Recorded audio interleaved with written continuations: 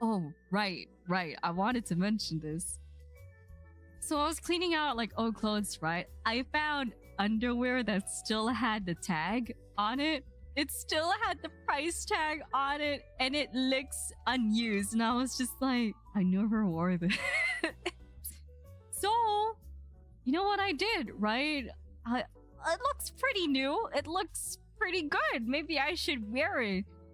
And so today, when I got ready for class, I was like, oh, I should use that underwear. And so I cut up the price tag, you know, and I wore it and I got dressed up for class. And then this split second, I finished dressing up. I felt a snap. And I was like, that's weird. Like, nothing in my outfit would have snapped or what the heck? That's weird. That's a weird feeling. And so I I look over my clothes. I'm like, my shirt's fine.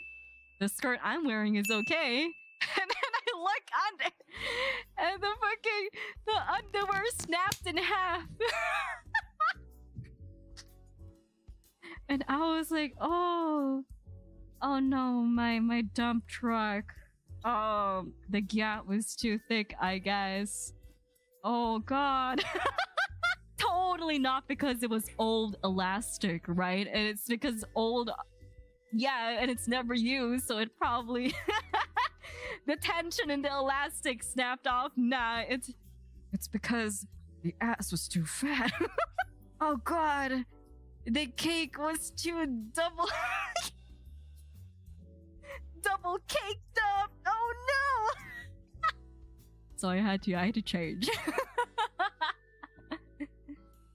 Yeah, um not because not because it's like unused elastic underwear from like years ago, okay? It's because of my gut. The thick was too dummy. you know, life is a struggle. life is such a struggle sometimes. Oh, woe is me. I am woe. Why is everyone so mean to me? It's just like the back, the back side, the back side of me facing the wall, but double cheeked up. it was a, it was a crazy. I was just like, huh. I like, what is that weird? Ow! I got hit on the back of my head by Cogs saying "Get." this abuse never stops in this family.